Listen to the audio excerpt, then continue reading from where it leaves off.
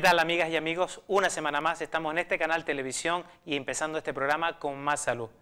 Todos sabemos que la artrosis es una de esas enfermedades que azotan a la tercera edad y en algunos casos producen una gran invalidez. Vamos a darles algunos pequeños consejos en un vídeo que hemos preparado con la ayuda de nuestro compañero Guzmán Rodríguez. El siguiente tema que abordaremos en el programa de hoy son las varices, cómo se produce, cuáles son los factores de riesgo para padecerla y algunos de los tratamientos de los que disponemos en la actualidad. Para ello nos acompañará el cirujano vascular, el doctor Julio Agredo. Pero para abrir el programa vamos a hablar de la diabetes tipo 2. La importancia de este tema salta a la vista, pues seguro que muchos de nosotros tienen un familiar con diabetes o algún amigo o amiga con esta enfermedad. Pero ¿sabían ustedes que una de cada 12 personas en el mundo padece diabetes pero casi la mitad de ellas no lo sabe, y que cada siete segundos muere una persona en el mundo por esta causa, o que en España la diabetes es con diferencia la causa más frecuente de amputaciones y de cegueras en nuestro país, pues para hablar de este tema empezamos ya el programa de esta semana con el primer invitado, el doctor Francisco Morales, médico de familia del Centro de Salud de Aruca en Gran Canaria. ¿Comenzamos?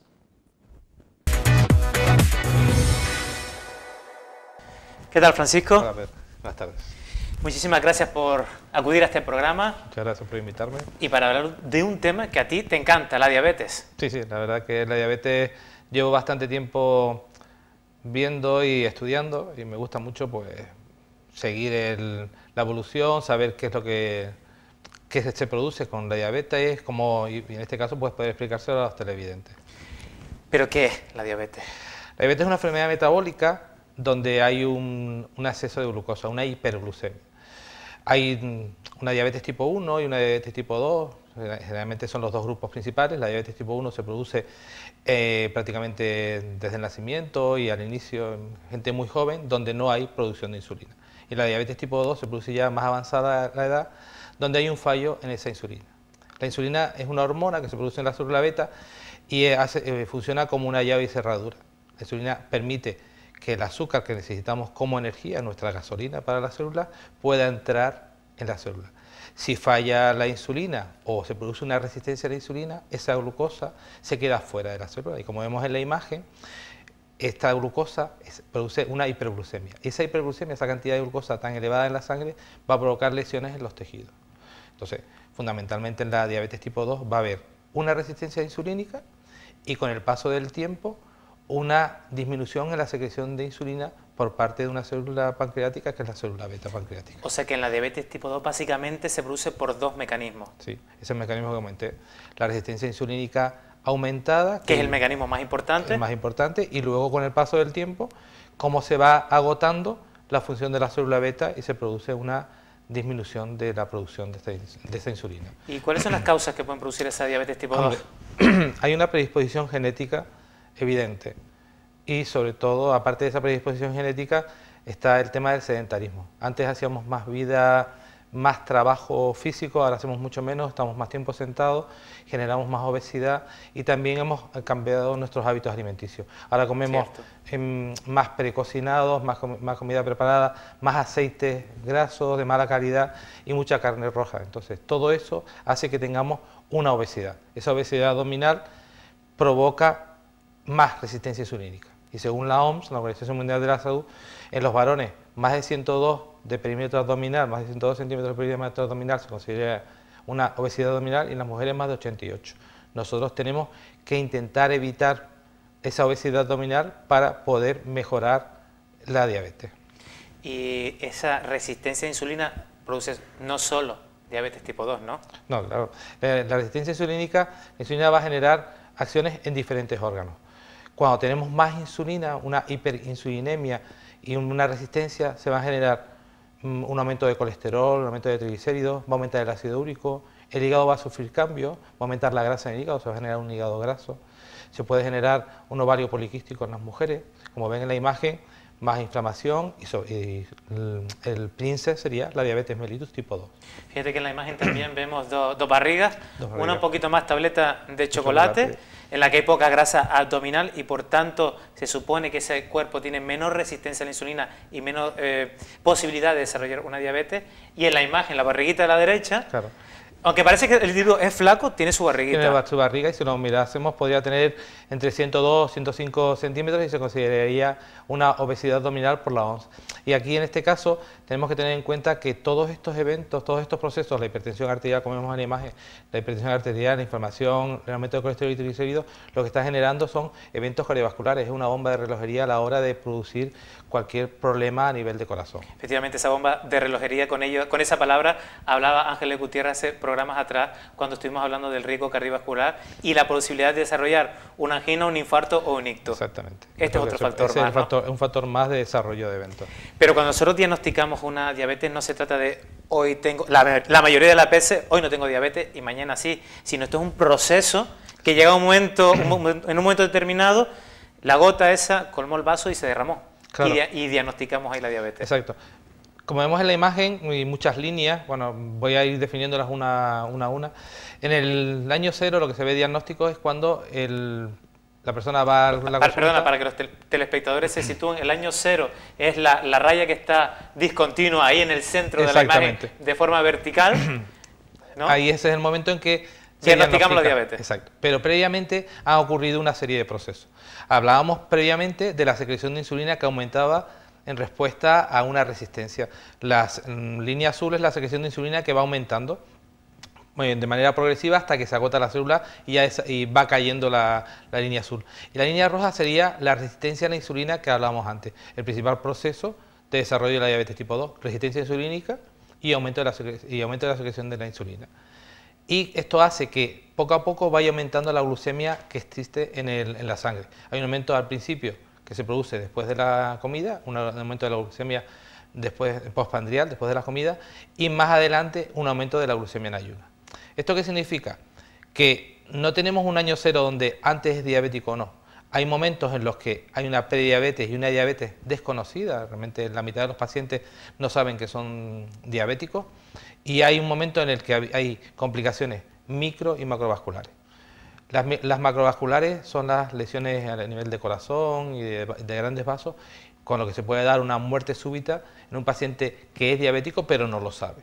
Y las complicaciones microvasculares son aquellas que se producen a nivel de la retina, eh, con pérdida de visión, a nivel del riñón, aumenta la tensión arterial, eh, falla es, la nefrona y a nivel de, del sistema nervioso, sistema nervioso con la pérdida de sensibilidad que se produce en los pacientes a nivel de, de las manos y de, y de, los pies, donde no notan el frío y el calor, no notan si tienen un, un zapato más ajustado que otro. Y poder, llegar a desarrollar el pie diabético. Y desarrollando un pie diabético de, como una gran lesión. Eh, aunque le solemos decir a los pacientes que hay unos síntomas que a veces presentan los pacientes con diabetes, no todo el mundo los presenta, pero ¿nos podías recordarlo? Claro. Mm, hay, nosotros hablamos en consulta, tenemos que explicar a los pacientes las 4 P. Eh, las 4 P que indicarían que puede desarrollarse una diabetes. ¿La primera P? La primera P sería una polifagia, tienen mucha hambre, pero tienen una pérdida de peso también, en algunos casos. ¿Qué es la segunda P? Es la segunda P. Luego también tienen mucha C, polidipsia. Polidipsia, tercera P. Y la siguiente es poliuria, van mucho, orinan mucho, van muchas veces. Pero aparte de estas cuatro P, tienen eh, infecciones genitales en las mujeres, hay cambios en la esfera sexual, eh, sobre todo en los hombres, con fallos en la erección. También tiene pérdida de visión porque está afectando la retina de ahí que nosotros le hagamos como una forma de controlar, pues se hacen fotos de la retina eh, para evitar, eh, para comprobar si hay una retinopatía o no. Y luego también está el tema de la pérdida de sensibilidad, las quemaduras que se pueden producir en, en las manos, en la cocina, y también está el tema de heridas que no cicatrizan continuamente porque hay un aumento de glucemia que impide esa cicatrización normal en las úlceras. Eh, insisto, aunque hay pacientes que pueden tener estos síntomas, hasta la mitad de los pacientes incluso con no se le diagnostica de diabetes. No se diagnostica diabetes. No están diagnosticados de diabetes. Exacto. Y muchos pacientes consideran que estos síntomas que van apareciendo son normales y van apareciendo con la edad. Entonces no le dan tanta importancia. Por eso es conveniente que ante cualquier cosa de esta se lo comenten al, médico, al enfermero con el que trabajan y que les digan, bueno, tengo este problema para poder nosotros tomar una, decisión. Repetimos, poliuria, que, son, que se orina mucho. Lo, ideal es, em, comen mucho, a veces pierden peso, tienen mucha sed y, y van mucho al baño y tienen infecciones. Si presentan esos cuatro síntomas, consúltelo con el médico. Sí, consulte, eh, comente solo sobre todo para tener una idea clara y hacer alguna prueba. Pero nosotros para realmente, digamos, poner la etiqueta de una persona tiene diabetes, utilizamos los análisis de, sangre, ¿no? Sí, necesitamos saber dar un valor claro. Y, también saber si esos síntomas corresponden a eso o no. Exactamente. Para, tener para definir si esa persona tiene diabetes o no, debemos hacer una serie de pruebas. La prueba principal sería hacer una glucemia en ayunas llevar un buen periodo de ayunas, ocho horas antes sin haber comido. Importante. Y entonces, sí, ocho horas antes y evitar que no coman demasiados hidratos de carbono. Entonces, después de esas ocho horas de ayuno, se hace un test de glucemia en sangre. Si es mayor de 126 miligramos de cilitro y en una segunda prueba se repite mayor de 126 miligramos... en dos ocasiones. En dos ocasiones hay que repetirlo siempre.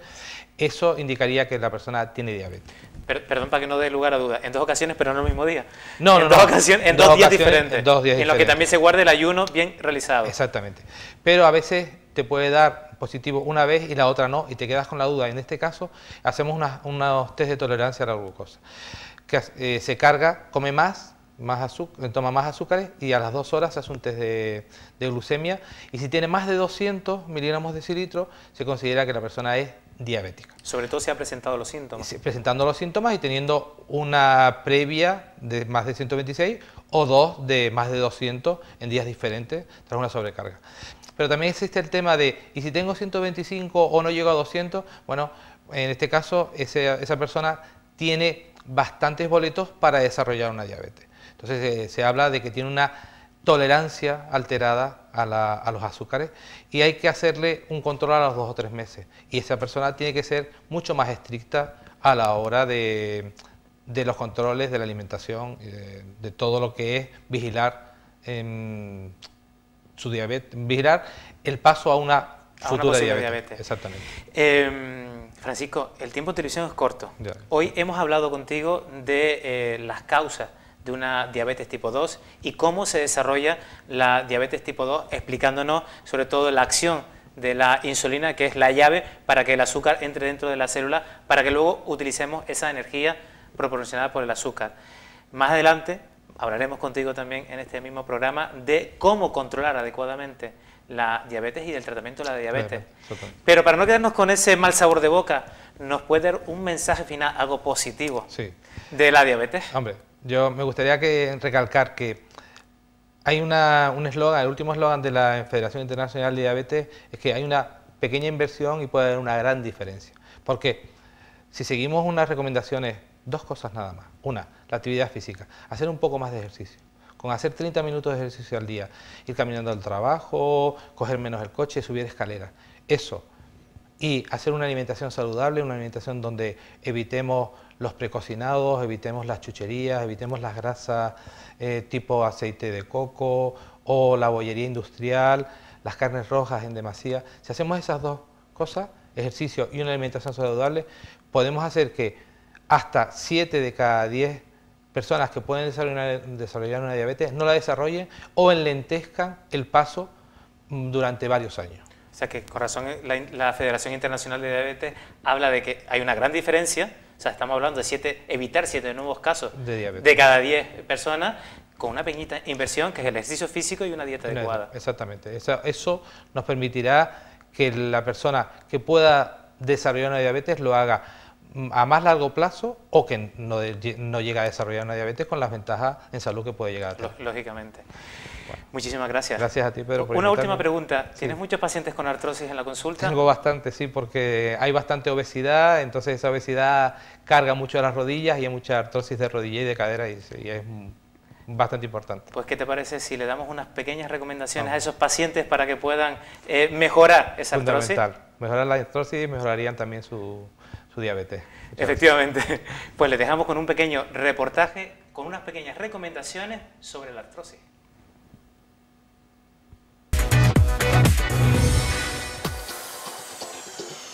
La artrosis es un problema de salud que afecta a las articulaciones, que por distintas circunstancias, edad, carga excesiva sobre las articulaciones, genética, sufren un desgaste y en ocasiones se puede producir dolor y problemas en la movilidad. Pueden verse afectadas una o varias articulaciones en manos, rodillas, cadera, columna vertebral. Para ayudar a mejorar sus síntomas y prevenir complicaciones, tenga en cuenta estas recomendaciones. Intente mantener un peso adecuado, ya que el sobrepeso o la obesidad hacen que sus articulaciones estén sobrecargadas y sufran más. Haga ejercicio de manera regular, casi cada día, durante unos 30 minutos. Caminar, montar en bici, bailar. El ejercicio le ayudará a mantener su peso, sus articulaciones conservarán más movilidad y la musculatura que las rodea se fortalecerá y ayudará a mantener la carga. Si tiene que cargar con objetos pesados, siempre que sea posible, utilice carritos. Siéntese erguido, derecho, y apoye la espalda en sillas o sillones altos. Duerma en un colchón firme. Si es preciso, se debe recurrir a objetos o material de apoyo, muletas, bastón, para ayudarse en sus desplazamientos. Ellos descargan el peso sobre la articulación le dan estabilidad y facilitan la marcha. Utilice el calor para aliviar el dolor, mediante bolsa de agua caliente, manta eléctrica o chorro de agua caliente. Si tiene inflamación de la articulación, utilice frío local sobre la articulación afectada, con una bolsa de hielo, protegiéndose con un paño o toalla. Y por último, consulte a su médico si tiene dolor severo, hinchazón o calor en las articulaciones, o si el tratamiento pautado no responde a sus necesidades. Tú también haces posible este programa. Contacta con nosotros a través del Facebook en facebook.com barra con TV o a través del correo electrónico con gmail.com. Haznos llegar tus ideas, sugerencias y aquellos temas que te gustaría que tratásemos en el programa. Te esperamos.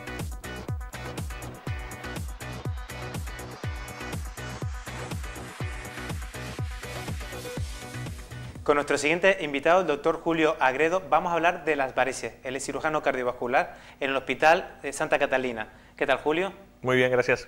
Estamos hablando de un tema tan frecuente como que el estudio DETEC IVC realizado en España nos dice que hasta casi un 30% de la población padece varices y que más de un 2,5% de la población puede llegar a padecer una úlcera venosa.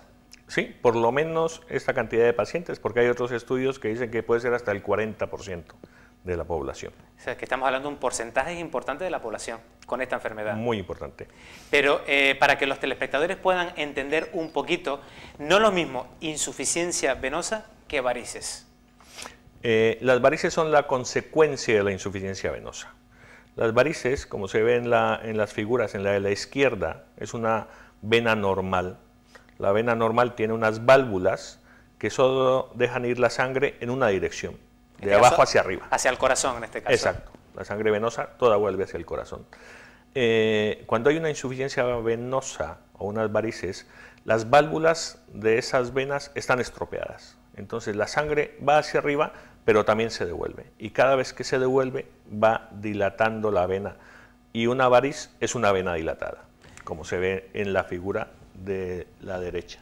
Por tanto, una variz es una vena insuficiente dilatada en la que no le funcionan las válvulas tampoco y está dilatada. Exactamente. Y la insuficiencia venosa es cuando no hay dilatación, pero las válvulas no funcionan.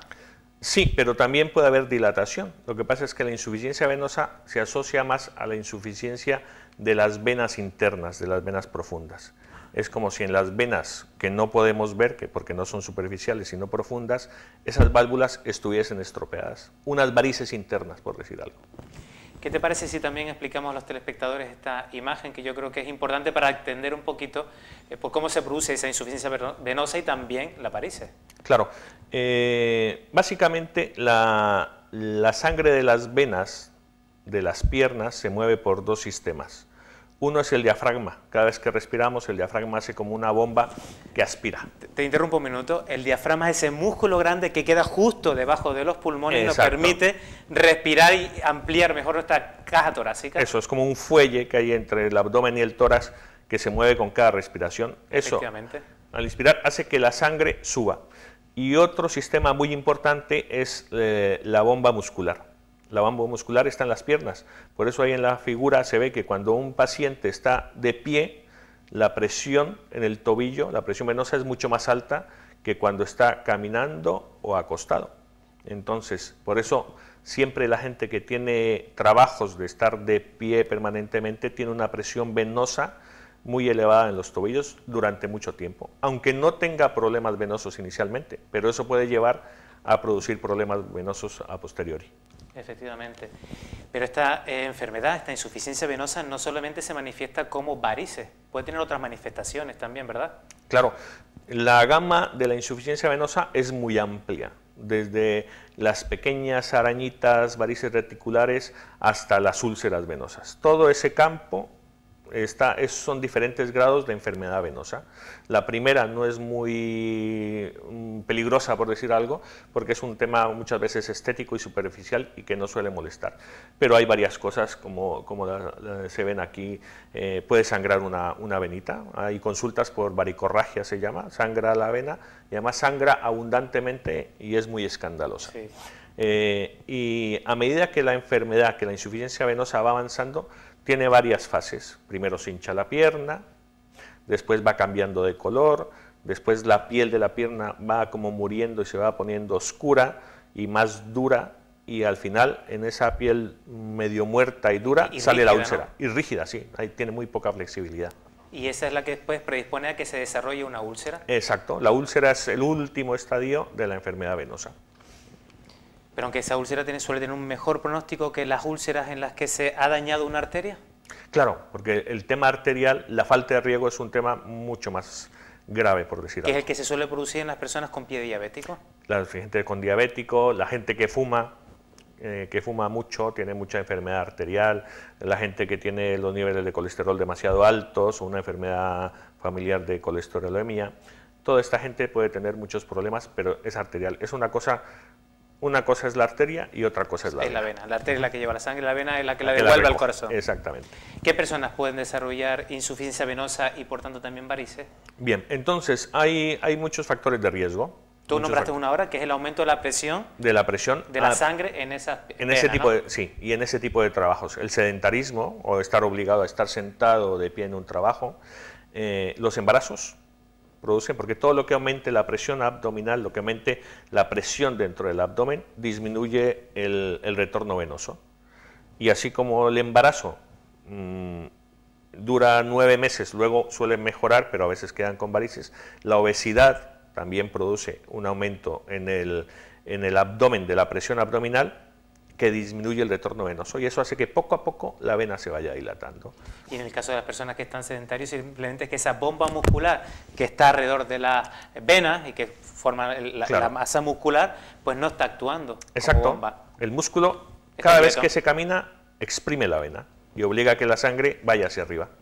También eh, hay que nombrar otra causa importante que son los anticonceptivos. Los anticonceptivos orales tienen en personas que, están que tienen predisposición a ello, pueden eh, formar mm, a veces pequeños trombos eh, en las venas eh, y sobre todo si está acompañado del tabaquismo. El tabaco es, produce, como tú sabes, una reacción inflamatoria en todo el organismo y eso ayuda, o sea, es mucho más peligroso una mujer que tome anticonceptivos y que además fume a que solo tome anticonceptivos aunque siempre hay que ver el beneficio-riesgo, porque claro, el 99.9 de las mujeres no, no, presentan ningún problema con los anticonceptivos. Y sobre todo ahora que también las dosis están mucho más regladas que hace unos años. Sí, mucho más disminuida. Es cierto también que también este riesgo de eh, trombosis en las mujeres que toman anticonceptivos también aumenta a medida que aumenta la edad. Claro, a medida que aumenta la edad, todo se va deteriorando un poco, las venas aunque estén, se vean bien y demás se van deteriorando un poco, eh, y con el tabaquismo y a medida que aumenta la edad y sobre todo después de la menopausia, el riesgo se eleva muchísimo. Por tanto, es fácil un poquito deducir ¿Cuáles son esos hábitos saludables que debemos tener para poder prevenir la insuficiencia venosa y la varices? Exacto. Entonces, eh, evitar el sedentarismo, como lo pones ahí. Caminar, Caminar, por lo menos. Por lo menos. Ahora, lo que pasa es que muchos estamos obligados a estar sentados muchas horas al día o de pie. Eh, en, ese, en ese caso, la recomendación es una terapia compresiva, unas medidas de compresión buenas lo que hacen es que en el tobillo tiene más presión y a medida que sube la media disminuye y eso hace como, como una especie de bomba muscular. ¿Qué es la imagen que estamos viendo aquí? Exacto, exacto. Entonces lo que se ve ahí a la derecha, la imagen superior de la derecha muestra las flechas que indican que hay mayor presión en el tobillo y a medida que sube disminuye y eso es Eso es lo que hace una media de compresión. Exacto. Una media, para decirlo más simplemente, es como tener la pierna levantada durante todo el día al usar la media. Tener la media es como tener la pierna levantada, que es lo que le alivia a mucha gente cuando llega a casa después de estar todo el día de pie con las piernas hinchadas o cansadas, la y descansa. Eso es, igual, es lo mismo que hace una media. En el cuadro inferior de abajo, el verde, sí se nos distingue un poquito alguno, alguna diferencia entre los tipos de media, de compresión normal o de compresión fuerte. Exacto. Eh, la gran mayoría de los pacientes, más del 90%, necesitan una media de compresión normal. Básicamente con eso tienen solucionado un poco lo que es la hinchazón de la pierna, un poco lo que es el cansancio, disminuir el riesgo de trombosis, etc. Cuando hay enfermedad más avanzada, cuando, hay, eh, cuando se pone la piel negra, que es la dermatoesclerosis, o cuando sale una úlcera, se necesita mucho más presión, porque esa úlcera y ese cambio de color está producido por un aumento de la presión dentro de la pierna, y hay que contrarrestarlo con una presión que vaya desde fuera.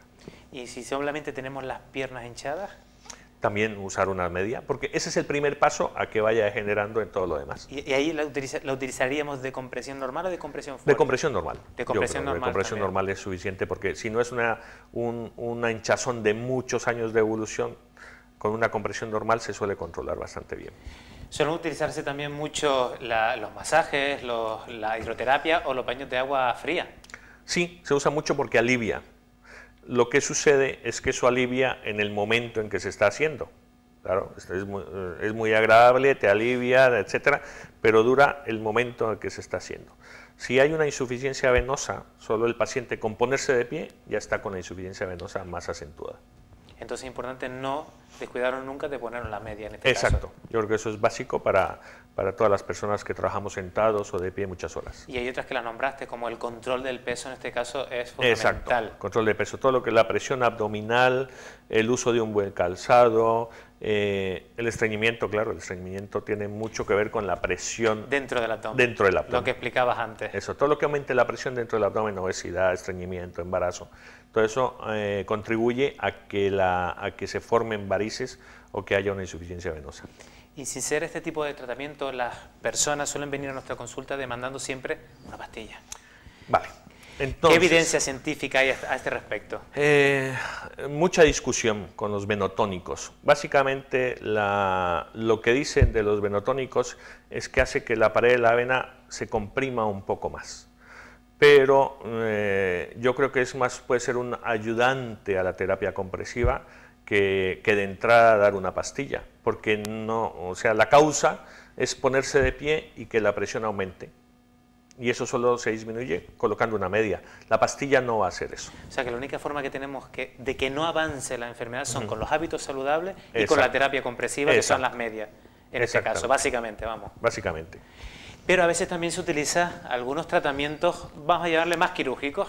Claro, entonces, por ejemplo, los tratamientos quirúrgicos se usan para las venas superficiales, la safena interna, la safena externa, la safena accesoria. No se puede usar para las venas profundas. Si uno ya tiene una insuficiencia venosa profunda... Ahí se quedó el daño. Ahí se quedó el daño. Ya tiene que usar la terapia compresiva, dependiendo del grado de que lo tenga, más o menos terapia compresiva. Los tratamientos quirúrgicos, pues hay varios tipos, hay varios tipos de tratamientos quirúrgicos. Eh, la escleroterapia, microespuma, es más para venas más superficiales, no tanto las venas principales, porque también se ha estado haciendo para venas principales y ahora está en auge a hacer una, las venas grandes con microespuma y demás, pero el porcentaje de fallos se está viendo que cada vez es un poco mayor.